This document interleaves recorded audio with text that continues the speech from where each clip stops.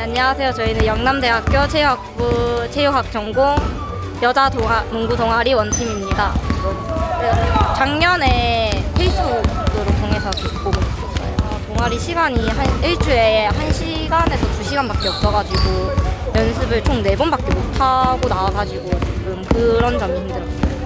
어, 저희는 올해 창단한 팀이기 때문에 연습한 지도 얼마 안 됐고 본선 결승을 목표로 하기보다는 좋은 성적 못 거두더라도 그 본 경기에 최선을 다하겠습니다. 원팀 화이팅!